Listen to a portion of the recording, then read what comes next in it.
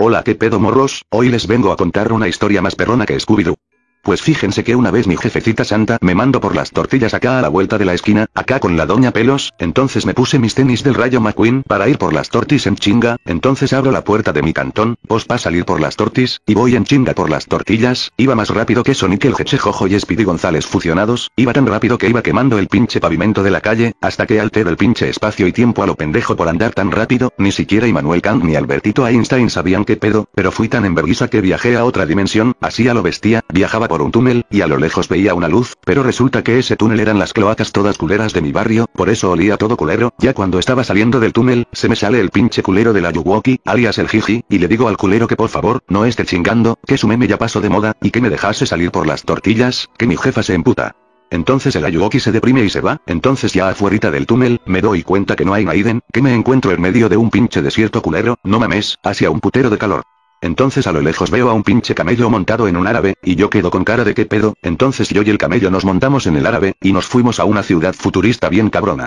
Los carros, las patinetas, las bicis, las personas, hasta las casas volaban, excepto los pajaritos, esos güeyes no volaban. Obviamente me quedé con cara de no mames, es más, hasta las casas tenían luz eléctrica y drenaje, eso sí es futurista y no mamadas putos, pa' que vean culeros. Lo que pasa es que privatizaron el suelo, esa fue la razón por lo que todo vuela. Siempre me dijeron que me la mantenía en las nubes, así que fácil me acople con los ciudadanos flotantes futuristas, todo estaba bien vergas ahí, hasta los asaltantes asaltaban en el aire, si te saltaban en el aire, tú tenías que levantar tus manos en el aire, y dar tu dinero al aire, es más putos, el dinero también volaba, tenía mini turbinas los billetes, y se iban los malhechores volando a la chingada, y la policía volaba en chinga por el malhechor, y lo arrestaban en el aire y lo mandaban a la aeroprisión futurista. Si hasta les digo que la gente cogía en el aire, no mames. Hasta los perros volaban, y se meaban en las madres rojas flotantes, esas que usan los bomberos para echar agua, y los meados volaban. Todo era perfecto ahí, pero un día se acabó la luz eléctrica, y todo se fue derechito a la verga. Y toda la pinche ciudad se cayó, y valió madres todo. Pero como soy bien vergas, sobreviví, y ya después de ver toda la ciudad hecha caca y de sufrir un trauma psicológico bien cabrón, me fui de ahí. Pero tenía un pinche pedo de bien cabrón, no sabía cómo pirujas regresar a mi cantón.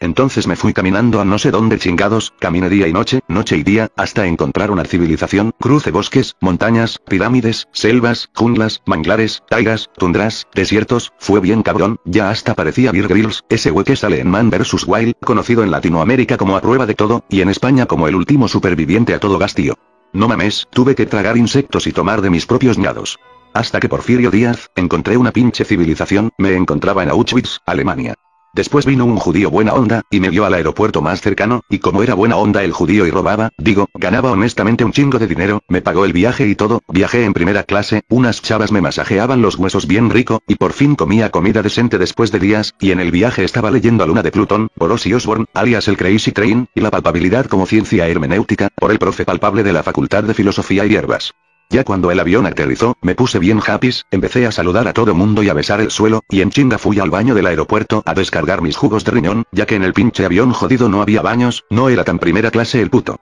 Luego me subí a la combi que toma la ruta cerca de mi cantón, pero no sin antes irme por las tortillas. Entonces ya luego fui a la tortillería con la doña Pelos, pero yo muy imbécil olvidé el dinero de las tortis, entonces me devolví a mi cantón por el dinero de las tortis, pero en ese momento en el que abrió la puerta, algo me noquea, era la chancla de la jefa toda emputada por tardar un chingo y no haber traído las tortillas, y ahora ando en el hospital de Calacas contándoles esta anécdota, ando todo lastimadito. Moraleja de la historia putos, nunca se les olvide el dinero de las tortillas, porque si no, hay chancla.